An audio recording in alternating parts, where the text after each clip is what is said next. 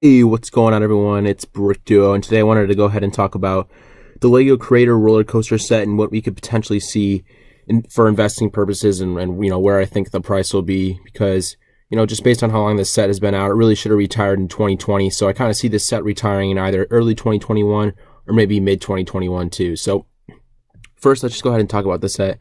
Retails for $380, has over 4,000 pieces I mean, it's just a really, really, really neat looking set. One that I kind of want to add to my collection, actually.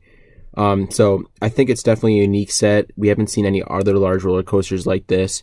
But I want to go ahead and take a look at some of the other amusement park series sets that have come out in the past years and what they're going for now. So the first one that came out was the Fairground Mixer. The set retailed for $150 when it came out, and you can go ahead and see from some of these eBay completed listings, 270, yeah, around 270 range it looks like based on some of these listings, maybe even a little bit lower, around 250 range.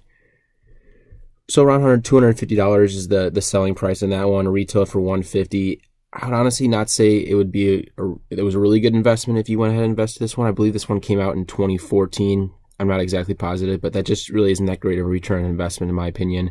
Um, there's certainly been other amusement park sets that have done better. One of them happens to be the Lego Carousel set. This set I always thought was very, very, very cool. Retailed for $200 and let's see, $380 now. Really, really, really doing pretty good. I'm sorry, this is the carousel. I, I'm, I, am we're gonna look at the carousel later. This is the Ferris wheel right now. Retail for $200. This set goes for well over $400. This is just a really, really great investment if you pick this one up. I know it's a larger price to pay for that $200, but it's selling for well over 400 kind of be able to see that double return on investment, which is what we're always looking for. And it's really nice if you're able to buy these $200 sets and sell them for double because it's just way less work. You're making 200 bucks on each of these. You know, after fees, of course, you, you know, cut down some of that. But yeah, just a really impressive set. I, I actually thought this set was way better than the Fairground Mixer too.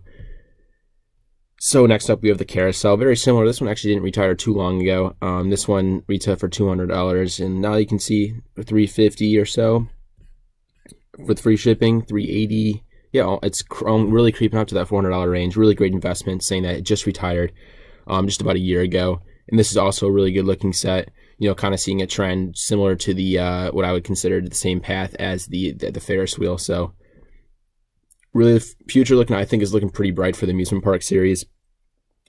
So I will say though that there's other been there's been other very large Lego Creator Expert sets. So if you go ahead and look at the Taj Mahal, this set retail for 370, similar price as that Lego roller coaster set. Um, and it's doing pretty good. It's doing good in the aftermarket, but it's not doing anything great. And I think if you're investing $370, you're going to look for more than just a $100 return on your investment. Now another one was the Big Ben. This one set retail for 250 and this set really wasn't going up crazy until just recently it's been seen a bigger spike. Now this set's going for over $500 in some cases.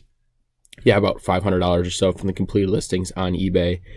Um, so yeah, you could consider that's a good investment. That set's been retired for a little bit longer than some of the other ones, so there is that to think about. Um, but yeah, I'd say the Big Ben is a good investment. It's just kind of a recent spike too. But yes, some of the larger Creator Expert sets haven't done as well in the past. That's why this roller coaster one, in my opinion, is a little bit of a wild card. I mean, don't get me wrong. I think this set is absolutely amazing and I do think it's a good investment, but it has such a high price to entry. I mean, you're, you're not going to see your money double, uh, you know, quickly from this set. Like this set is not going to jump to eight hundred dollars. So I don't want to give anyone any misconceptions. Like there's probably better better investments for your time. But I will say though that like it, it is it is easier if you buy one set and you're able to, to, to sell it for a couple hundred dollars instead of buying those thirty dollar sets and selling for sixty. You know, you got to sell a lot more to, to, to, to get your money. Whereas if you just bought one of these and sold it, um, that's a whole other conversation too, though. As far as is it better to buy smaller or bigger sets? There's some more risk on the seller's end if you're if you're selling bigger sets. Like if you get screwed on eBay, um, you know it's very buyer protected. If you get screwed um, on one smaller set, you're only out with 30 bucks, easy to deal with it. If you're screwed on one of these ones, you're out like 400 bucks. You know it's kind of tough. Um, but I do think this would be a good investment. I'm not sure exactly sure the price is going to be. I don't want to give any exact numbers, but I, I see this set going for uh, over $500 when it retires certainly very quickly after he retires, and I sort of see it creeping up even a little bit higher than that too. Um, a year or so after he retires. So definitely a safe investment. I wouldn't. I don't think we're going to see this thing double in price anytime very soon, but one that I'm actually looking to possibly invest into.